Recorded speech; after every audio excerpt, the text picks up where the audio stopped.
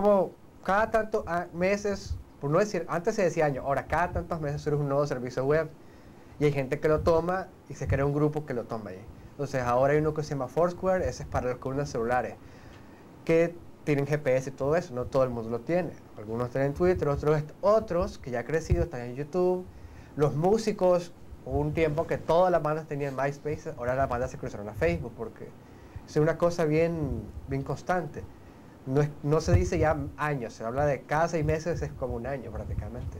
Sí, yo creo que precisamente pues ellos tienen una nomenclatura que no es fácil de dominar, tienen su, su código y, y tienen su, sus espacios, ¿verdad?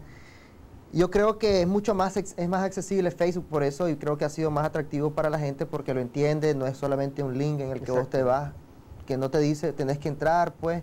Facebook hay mucha más interacción, entonces es más fácil poder crear ahí foros, poder crear comunicaciones, pues. Eh, el problema, creo yo, muchas veces está creándose en, en, las grandes plataformas. Yo las miro subutilizadas, el nuevo diario y la prensa.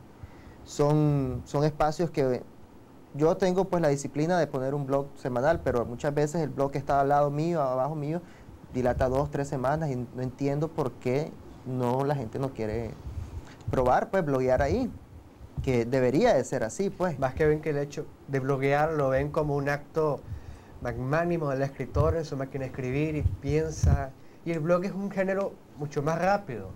Ahora, ¿hacia dónde vamos? Nosotros, cuando digo nosotros, los medios de comunicación con los que nosotros estamos involucrados, en el caso de, por ejemplo, de esta semana, tenemos una página web, pero hemos descubierto un público más fácil de congregarse a través de Facebook. Hay casi más de 4.500 participantes. En el caso de Confidencial Digital, empezamos en marzo a aprender, a descubrir, a encontrar también interacción y estamos tratando de abrir un nuevo espacio para promover periodismo ciudadano. Es decir, estamos tratando de entender cómo hacerlo y conocer de otras experiencias. Digo yo, si se pudiera hablar de tendencias, que supongo que son algunas de las cosas que van a hablar en este encuentro, ¿hacia dónde va este movimiento en Nicaragua? Bueno, el movimiento depende de dos cosas. Uno, que haya facilidad de conexión, de conectividad. Entonces, en teoría, ya que hay tres o cuatro proveedores de acceso a Internet, debería haber más gente entrando a Internet. Esa es una cosa, pero una cosa es que la gente tenga el acceso y otra cosa es que lo use para algo provechoso.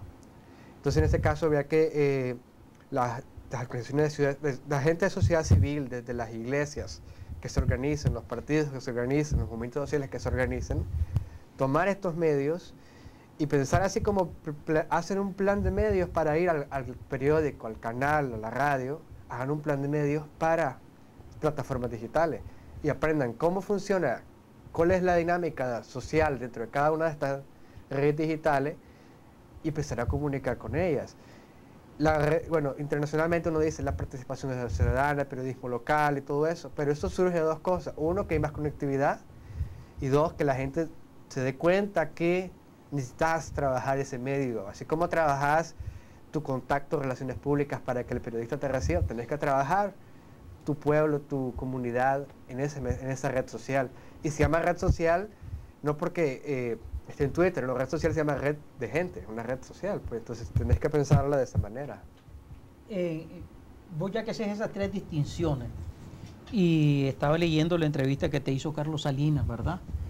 Este, vos, eh, si ya no estás en ese, en ese rango de exquisitez que estabas hablando, que se, que se que se encuentra Rodrigo y hablar, y hablar de los reconocimientos que se te hacen por, usar distintos formatos, por eh, usar el intertexto, buscar otro tipo de animaciones.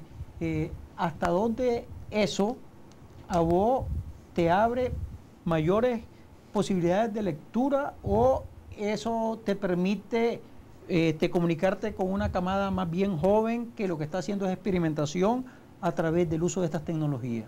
Sí, yo creo que mi, mi, contenido va más dirigido a los jóvenes. Y creo que, que, lo que pasa ahí es que también yo soy, pues, vengo de la tradición del artículo de opinión, entonces, mirando a otros blogueros, hay, que, hay, hay algún formato, no muy, no, no muy bien definido, pero existe un formato de que es un blog, sus características peculiares y no, y no es muy encerrado, pues, pero definitivamente no es un artículo de opinión. Entonces, hay que sacar todos esos elementos y los fui buscando, tenía que ser ágil, un texto de 400 palabras como máximo y evidentemente que apele a una reacción de un lector, pues. Entonces, por ahí... Más que la reacción del lector la podés guardar inmediatamente ahí. Entonces, ese es el truco. Con el artículo de opinión es leerlo. Si hace una cita, investigar qué es la cita. Porque en un blog pones enlace y ya sabes qué es. No, en un artículo tenés que ir a leer esto, lo otro. Y contestarles y enviar la carta al periódico, el periódico decide si la publica o no. En un blog es, Ahora, hay algo que tiene que ver también con el estilo, ¿no? Que me parece que es lo que la gente reconoce en, en tus blogs, que, no, solamente hay, no solamente que hay reverencia, sino que también hay cultura y por el otro lado un poco de humor.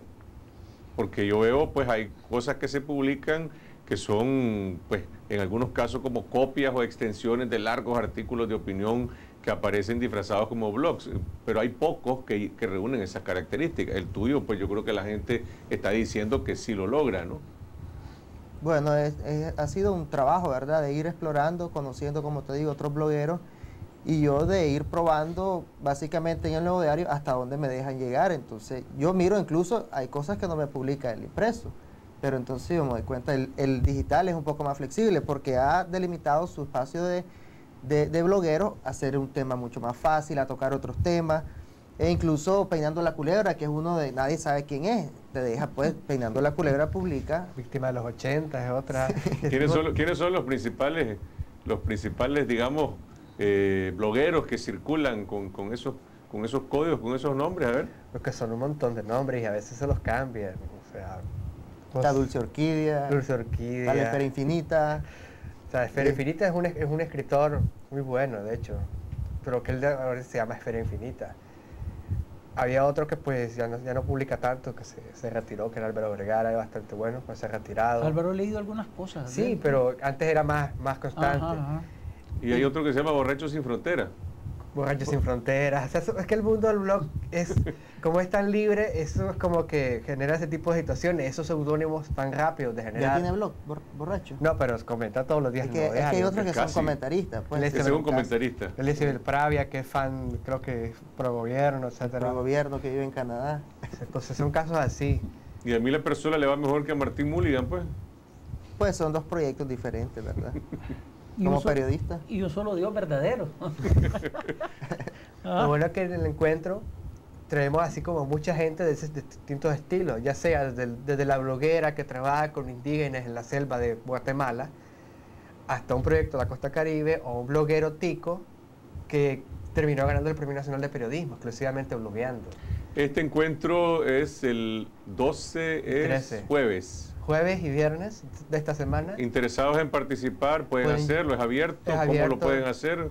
Es abierto, pueden llegar, ahí los recibimos. Eh, ¿Dónde? ¿Qué horas? Auditorio Javier Gorostiaga, de la UCA. Las inscripciones de las 8 de la mañana, a las 9 empezamos las actividades del Me imagino que lo van a comunicar eh, online, el sí, encuentro. vamos a hacer un streaming.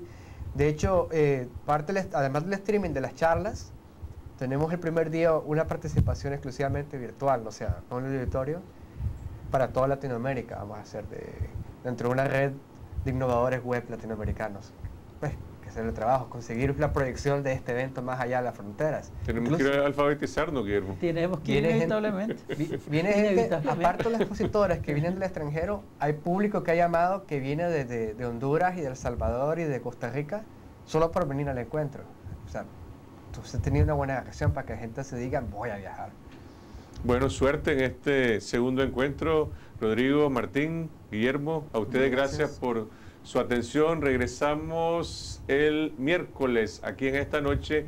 Mañana, día 10, 10 de agosto, día de fiesta, vamos a retransmitirle algunos de nuestras entrevistas, de nuestros últimos programas. Hasta entonces.